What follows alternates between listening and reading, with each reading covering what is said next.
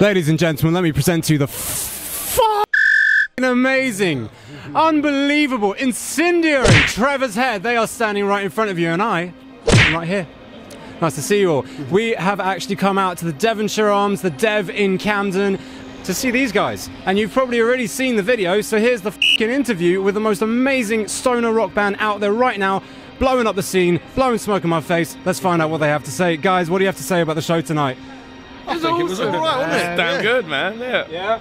And how does this show compare to shows in general for you guys? It's, it's tighter, it's smaller, it's more compact, it's Yeah, more it's, lovable. it's always people, nice isn't when there's there were a people, full yeah. bunch of sweaty people Oh. crammed in a room. It's Would lovely. you rather like the sweaty people? Mm. Oh, I like yeah. to lick them.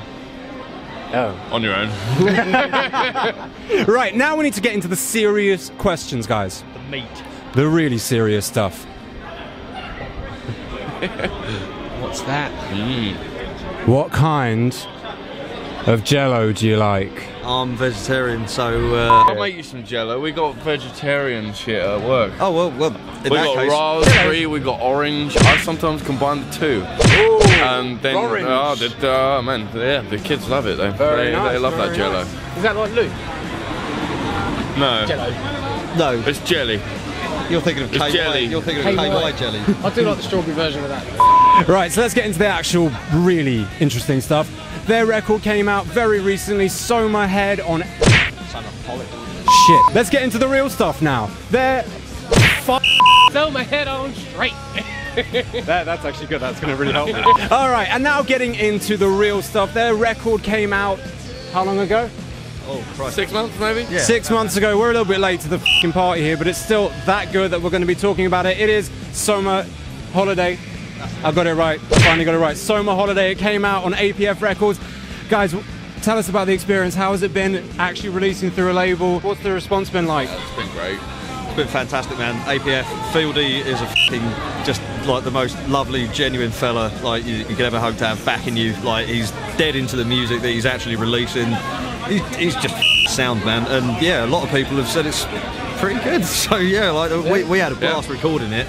And uh, yeah, no, it's just good to good to hear some nice feedback, get some good shows off the back of it. Uh, yeah, it's going well. And we're meeting lots of other bands through the label as well, who are, you know, becoming little uh, little band mates and all that. you know? Oh, little It's good. It's, it's like a little family of stoners. It's great. Okay, so here now we're going to dive into the really important stuff. Guys, tell me, greatest influences. Oh, These- now these that, that, that's, a, that's a tough one. That, that'll take a bit of thinking about. Um, the basics. You go first. Sabbath, the blues, fucking love like punk rock, Black Flag, NoMeansNo, fucking come on. who I else? suppose I take a lot of the proggy influences, like yeah, yeah, quite your like Tool. I mean, he loves. King Crimson, yes, King all that sort of Crimson. shit. Love it. yes, the classics, Genesis, yes. Yeah, I think I mean, between, between us, we cover most things. Like, I like a bit of pop stuff that they hate me putting on in the car. Like, you know, when there's like a bit. when the mood strikes We're you. all- only on got quite a- Christmas, but yeah. It's got quite a balanced uh, genre base yeah, man, we, we amongst can all, us we can all all. We- skank every now and then. Like, There's spots that Yeah, we we all are. cross over on. I mean, like you know, there's he thinks I listen to some absolute garbage You do. sometimes. Like, but Well, I think we know. all think that each other listen to some garbage, but then we we'll come we'll convene in the middle and like With a, this like a music we've been trifecta of bell ends. bell ends. There you go. That's what it takes. that is what it takes, ladies and gentlemen, to make that amazing a record. It is out on iTunes, Spotify, all the good places right now. And you should definitely go and buy a copy because it supports these guys, it supports the label, it supports real music, and that's what we are all about here at the New Green Whistle Show. the best place to buy it, though, by the way, Yes, best place. is at a gig. That is really Come the to the best place. Come to the show, support live music. This is what it's all about. The biggest question that we are asking nowadays is how social media is affecting life as a band because it is harder than ever to get recognized, it's harder than ever to get spotted, to be found. So, guys, tell me, what is the strategy? How does it feel to be in this kind of scenario where you're not just playing live anymore? You're promoting on Facebook, you're promoting on Instagram, you're promoting on Twitter perhaps as well. Everything counts nowadays to get people down to the gigs. What's the plan? How does it work for you guys? Well, the big word is content, isn't it? I suppose. Yeah. You got to have stuff out all the time. I mean, we've always lived on the, the principle of just do gigs, do gigs, gigs, gigs, gigs, gigs, and then people will notice you, you know, and you you you, you hone your art, and also people hopefully notice you and turn up to the next gig because they've seen your, your name somewhere. They might not know who you are, but they're like, Trevor's Head, I recognise that. It's that extra stage of word of mouth, isn't it? Like social media is, is the extension of that, you know. Like so, it's not necessarily people actually speaking in person saying, "Oh, have you heard such and such band?"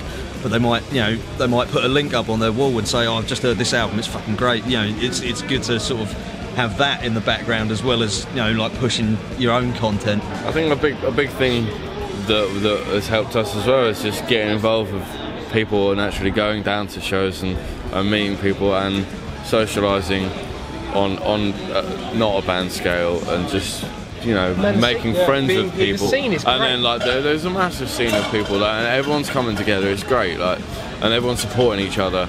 And that's key to everyone's success and hopefully it'll just push it even more you know? Now, as you have seen the video, you know that all three of these guys are singing in the band. They are all writing songs, contributing. This is a real collective of musicians. This isn't just one person living the dream with some other ugly people sitting behind them. This is, well, I mean, the ugliness, fine, whatever, you know. can only do what we can do. But these guys are really equals in this band. It's something truly, truly amazing to see. Not something you see every day. Guys, can you tell us a little bit about how you come about songs? How what's the process creatively? Whoever has the best idea, we go with it. And how do you decide the best idea? Because it's notoriously well- difficult. It's, um, We it's asked the always- audience. Can't always be a. Hello, All right. here's, here's, here's one now. A friend here. Come in and say hello. Log one, it's your boy. Okay, right, we're going to bring this to a bit of a close. Things have descended into a little bit of madness here, but thank you so much for watching. This has been the new Green Whistle Show, and before we go, we got one last question for the boys. Greatest villains. Your favourite villain. Babe, oh, you put him on a spot there. Go Put on. you in the spot. Donquixote Doflamingo from One Piece. What's this greatest? He's a piece of One shit. Piece. He's brilliant. I love him. Go on. I kind of like um, the bad dude from Point Break. What's his name? Brody. I can't remember. I haven't seen it. Brody. What's your favourite villain? He's a bit of a villain, Favourite isn't he? villain? You're a bit of a fucking That's the villain. first, the first one that popped into my head, anyway. I don't know. Hook's pretty badass. Captain Hook! Ooh, Captain Hook! Broly. Broly. Yes, my man. Yes. Broly! Fucking Well, there you have it. It's been an amazing interview. We could re- literally talk forever here, and I'm sure we will be talking again very, very soon, including talking to their labels. So make sure you stick around, subscribe, like, share, and comment down below. Let us know what you want to hear from the next interview. Till next time, thank you very much, guys. So you guys in a band or something?